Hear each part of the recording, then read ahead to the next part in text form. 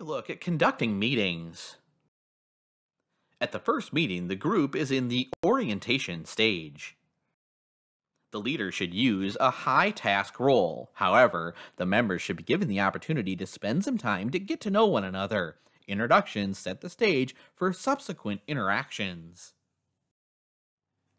As the formal leader, you should set some ground rules, such as a shutoff or vibrate smartphones and other devices that can be distracting.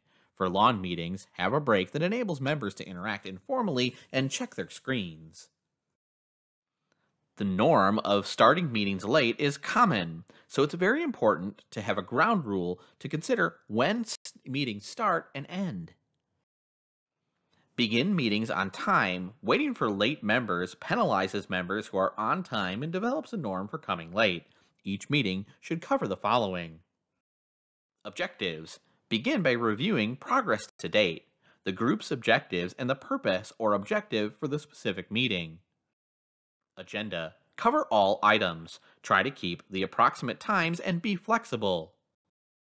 Summarize and review assignments. The leader should summarize what took place during the meeting and review all of the assignments given.